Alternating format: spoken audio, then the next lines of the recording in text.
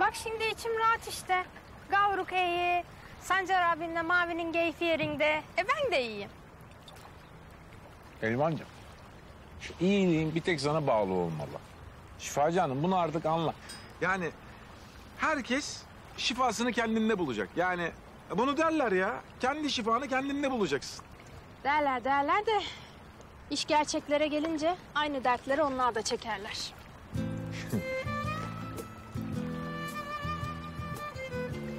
Ay Ne oldu? Ne oldu ya? Nazar mı değdirdik? Ne, ne oldu? Başım mı döndü? ben sana dedim emme o yoğurtlu mezede bir koku vardı. Ne kokusu var? Bunu da... Yo tazecik yaptım ben bunu hiç koku mu... Ya sen bak sen diyeti biraz abartıyorsun.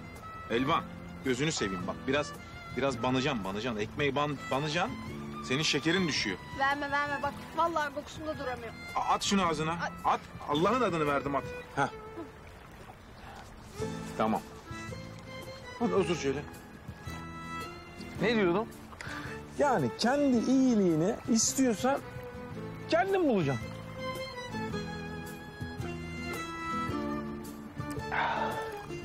Ban biraz. Banaman Bora. Banaman mı?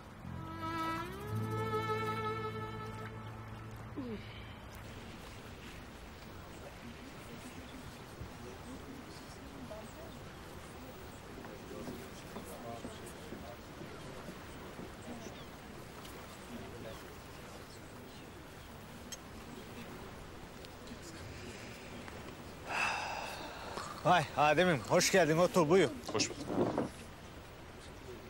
Aç mısın? Sana bir şeyler yaptırayım. Teşekkür ederim Yahya Bey. Ee Adem'im haberler sende. Deyime bakayım. Bugün de mi o herifle gittiler? Evet abi. Yani aslında artık karavanda birlikte yaşıyorlar. Tamamen oraya taşındı sanırım yenge.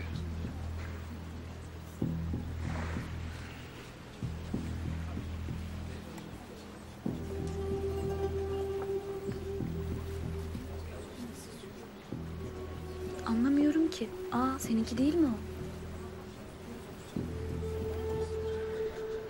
Dur bir dakika. Tamam.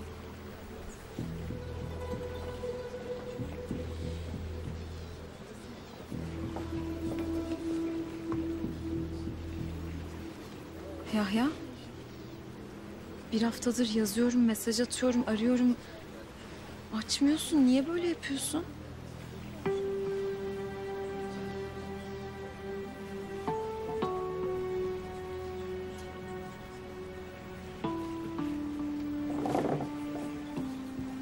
Şimdi değil Dudu. Müsaade edersen arkadaşla bir iş konuşuyoruz.